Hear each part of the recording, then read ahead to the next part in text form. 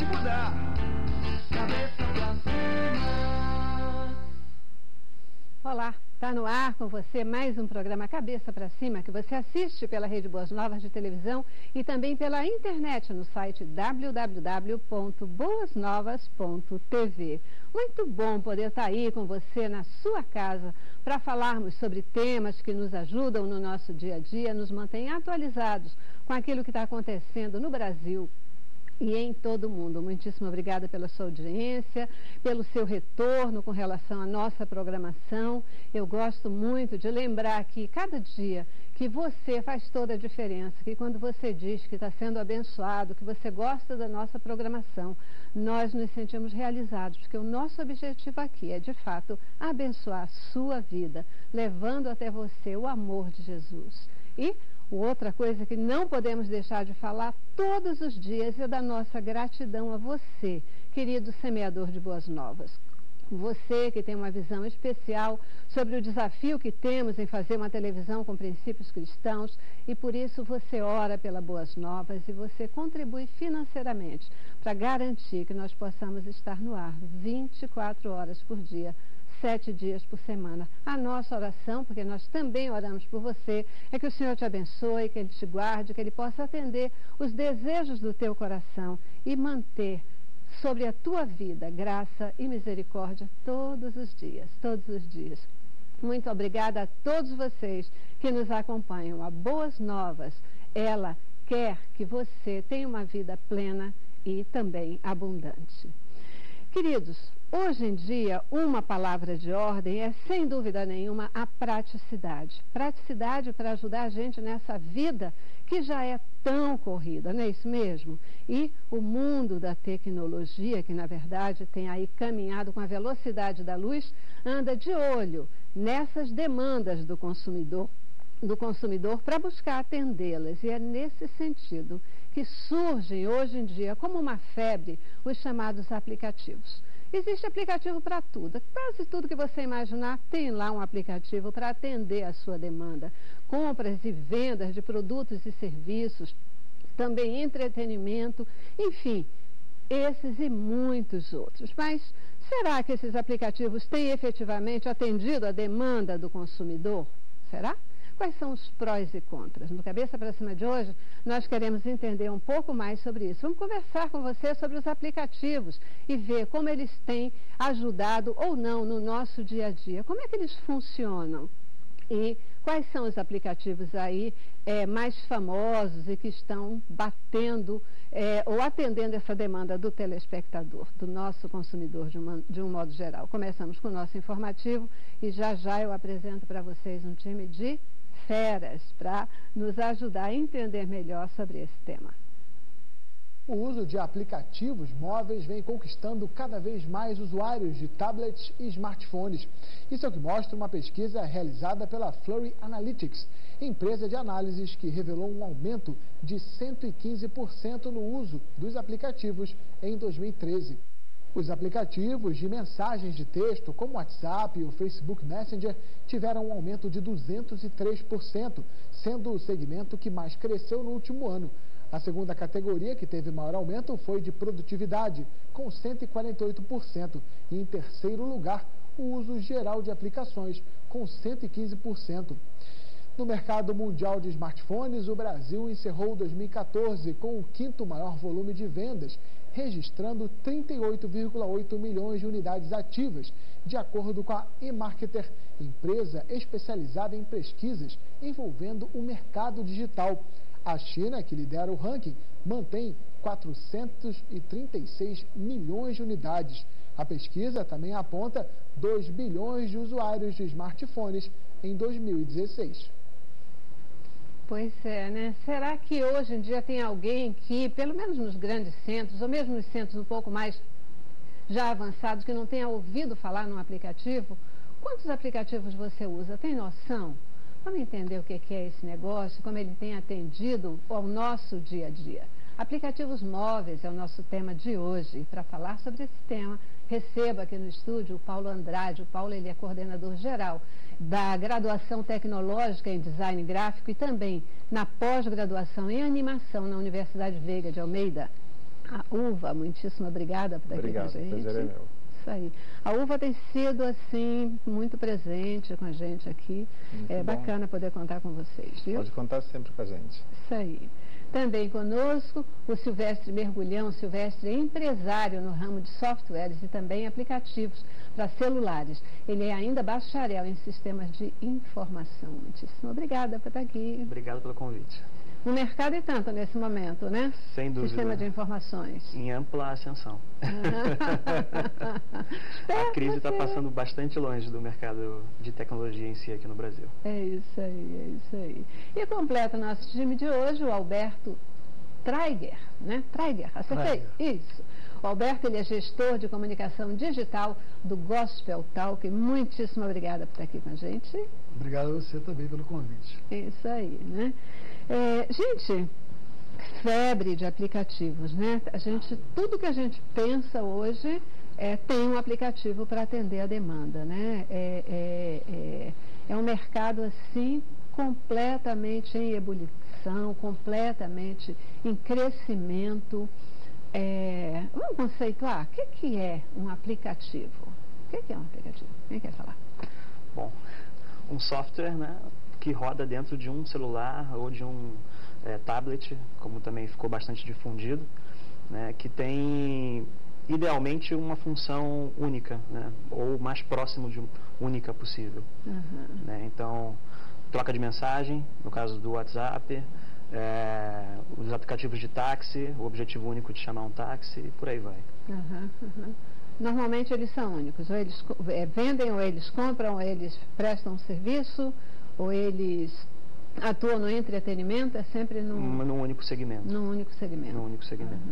Enquanto, algu- em né? algumas situações, em múltiplos segmentos. Eu- eu- eh, o WhatsApp, o nosso foi inspirado no, no- no desenvolvimento do WhatsApp, porque ele é múltipla função. Ele, é- a primeira função básica era a troca de mensagem. Troca de mensagem, Hoje em é. dia, você troca mensagem, troca texto, troca vídeo, troca áudio, troca informação, é, é, um- é múltipla função nesse caso. Eu gosto de que a destinação é essa para o mercado cristão. Aham, É. Você até já fala, né, por voz Já também. fala por voz, né? É, a questão também é que o, é o conceito do, do app, do aplicativo, né? A gente tinha os programas de computador, os softwares, e os aplicativos começaram nos celulares com, com funções muito simples. Os celulares eram simples, smartphones simples, aplicativos simples. Só que hoje em dia você tem dentro do, do, do seu tablet um office inteiro, É um editor de texto inteiro, você tem uma planilha. Então, mas inicialmente eram aplicativos com funções limitadas, específicas, para dispositivos específicos, Aham. de, de pouca capacidade. Só que isso mudou muito. Os celulares têm um poder de, de processamento muito grande. Então, você fica um pouco difícil a gente definir se tem só uma função, porque vai aumentando a É, não, com capacidade. certeza. Passa a ter às vezes mais função. funções, é, passa a ter às vezes mais funções que o seu próprio computador. Aham. Porque o seu computador ele está parado na sua mesa e o seu celular ele- você está se deslocando, ele está usando essa informação de deslocamento também como, como entrada de informações. Então, Aham. é, realmente o termo, mas o termo cunhado virou app, né, ou aplicativo. Aham. Mas é um programa de computador, o celular é um computador. Aham. Pois é, né, Paulo, você estava falando, os celulares, eu acho que é, não, não dá mais nem para a gente dizer os telefones celulares, É. porque o, o- o que menos o celular é, é um telefone, né? Ele é efetivamente um computador de bolsa, ele faz... Eu acho que hoje, cada vez mais, as pessoas estão deixando de usar a voz, né? O telefone, propriamente dito. Às vezes ele toca, né? E aí você lembra que na verdade ele é um telefone. você tá lá no meio digitando um texto e ele toca. Aí você fala, é, também é um E, telefone, é, né? Também é isso, né? Também é isso, é verdade. É, é, vocês que estão envolvidos com esse mundo, com esse tipo de, de tecnologia, é, e os aplicativos, eles vêm para tirar posições de emprego, porque muita gente né, fica meio apavorado também. Ao mesmo tempo que a gente quer a tecnologia, que a gente quer é, a praticidade, que a gente quer a mobilidade, mas como é que isso vem funcionando em termos do mercado de trabalho? Ele tira posições, ele faz com que haja menos oferta de emprego?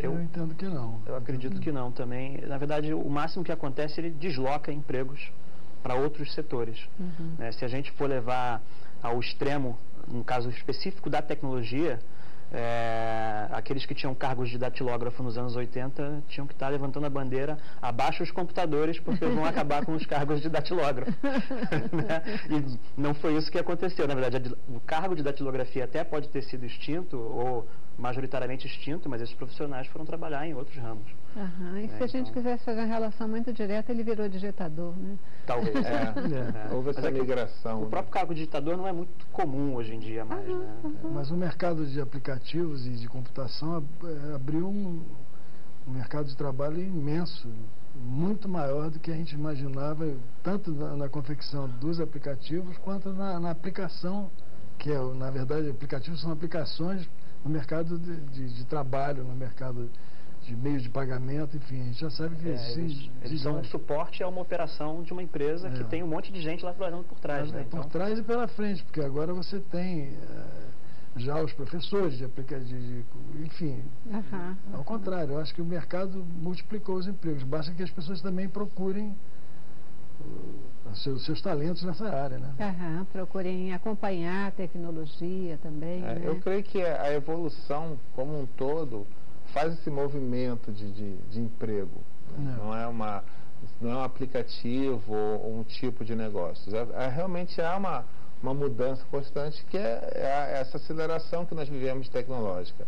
Então é necessário estar sempre se adaptando. Agora, é, é uma coisa que já se fala há muitos anos e, e continua se falando é que é, cada vez mais o trabalho braçal vai sendo gradativamente substituído por outras tecnologias. Aham. Então, Mas feitos por seres humanos, que, É, que vão trabalhar. Na, na- na- na nossa época inicial, é, as famílias eh, tradicionais, eh, a pessoa queria ser médico, advogado e engenheiro. Hoje, a tecnologia abriu um campo enorme para ilustradores, para desenvolvedores de, de, de animação, enfim, Verdade. essa, essa parte de tecnologia dentro da. A coisa saiu de uma, eh, só do mercado de petróleo para um outro, para outras aberturas. E É. existe muito talento aqui no Brasil, principalmente para É, isso. O, o mercado de programadores, né, de as pessoas que programam os, os softwares tanto para celulares quanto para a internet, ele está enorme. Né? Existe muito mais demanda por esses profissionais do que esses profissionais estão no mercado disponíveis. Né? Aham. Então, isso é uma tendência mundial, está acontecendo no mundo inteiro. Né? Todas as empresas que desenvolvem software hoje têm um certo grau de dificuldade de contratação de profissionais. É verdade, é verdade. Na verdade, é, essa questão da, da mudança do perfil profissional com o advento de tecnologias, aí a gente não está falando só dos aplicativos, mas da tecnologia de um modo geral, é, ela é inevitável e não tem volta, né? E hoje todo mundo tem que se preocupar com isso, de é, buscar se atualizar, buscar conhecer um pouco mais, porque também é uma realidade. É, há desemprego, mas tem muitas vagas sendo oferecidas que a gente não consegue preencher por conta de capacitação, né? por conta de capacitação de pessoas e, E e falando especificamente sobre essa área de capacitação na área de programação, é, programar um computador é uma coisa extremamente complexa. Eu diria até que é uma das coisas mais complexas que o homem já inventou. Aham. né? Não que da mais complexa que existe na natureza, mas a mais complexa que o homem foi capaz de inventar até hoje. E para você se desenvolver, se tornar proficiente nisso, você precisa de muitos anos de experiência, assim como praticamente qualquer área. Mas você realmente precisa ter trabalhado com isso durante muito tempo. Aham. Eu, por exemplo, comecei como programador quando eu tinha 10, 12 anos de idade. Então, quando eu fiz 22, eu tinha 10 anos de experiência com tecnologia, o que me deu um avanço. né? Se você começa a estudar tecnologia só quando está na faculdade, com 20 anos, você só vai ter 10 anos de tecnologia quando você fizer 30. Aham, né? E aí nem todo mundo tem paciência para esperar até os 30 e acaba saindo do mercado antes. Aham, né? E aí existem até instituições internacionais, o Bill Gates, o fundador da Microsoft, eh, ele apoia iniciativas no mundo inteiro para que as escolas comecem a ensinar programação como uma matéria do ciclo básico. Né? Porque você, existe a, a- programação hoje ela é quase tão importante quanto a matemática. Aham. É, e então ela- ele defende que isso seja ensinado desde o comecinho para as crianças. É uma mudança de paradigma está mudança de acontecendo paradigma. agora nesse século, né? Quer dizer, Completa. do 20, É, é. do 20 para o 21. É, né? eu acho que completa e total, porque as crianças, elas já nascem, né? Acho que o primeiro brinquedo agora de uma criança não é mais nem a boneca, nem a bola, nem no carrinho, não sei o quê, é um celular, né? Sim, é é um um- smartphone, na verdade, né? E aí, é, é, nós adultos, muitas vezes, a criança sabe mexer mais do que um adulto. A gente vai aprender com elas, né? Como é que mexe essa coisa toda. Então, eu acho que isso muda a, a forma de pensar. É, e realmente eu penso que as instituições de ensino elas devem aí estar preocupadas, atentas a essa mudança, preocupadas no bom sentido, né? De oferecer mesmo desenvolvimento é, é, quanto mais cedo, melhor para ir capacitando. Essa, é, a gente já falou, é uma mudança inevitável. Mas é questão gente... de tempo, eu acho que já está acontecendo e está tudo virando muito rápido. Então, a, a, o próprio setor de ensino não estava também preparado para essa mudança. De Por jeito isso é que a coisa está acontecendo. E De vai, jeito na verdade, não vai ter como não fazer. É isso aí. E concordo. nesse É, ponto um, é um- é um específico. furacão que está vindo e você vai ter que seguir É o isso aí. E nesse ponto ou específico, vai ou racha. não é um problema específico do Brasil, nesse caso. Claro. Não, Não, é um não, problema não, da educação não, é. brasileira, isso é um- uma questão Se global. pensar em 10 anos atrás é, uma loucura, Aham. no bom sentido. Falando em velocidade, é assim, né? A gente vê é, uma nova tecnologia, um novo aplicativo, por exemplo, o WhatsApp, né? Ele veio e foi derrubando um monte de outras coisas que estavam aí, que eram, né? é, todo mundo é, usava e de repente chega e ele começa a mudar e ele mesmo vai passando por mudanças, mudanças, mudanças o tempo todo. É, eu vou para o intervalo já e eu queria voltar e conversar um pouquinho com vocês sobre essa velocidade de mudança. Quais são os aplicativos que eles estão aí chegando para facilitar a vida das pessoas?